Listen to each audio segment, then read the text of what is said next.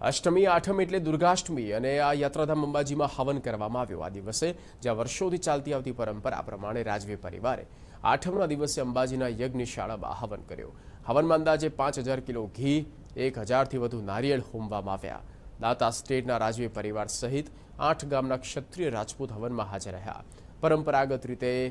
મશાચલી દ્વારા રાજવી પરિવારના સભ્યના પગ ધોઈ ગર્ભગૃહમાં પ્રવેશ અપાયો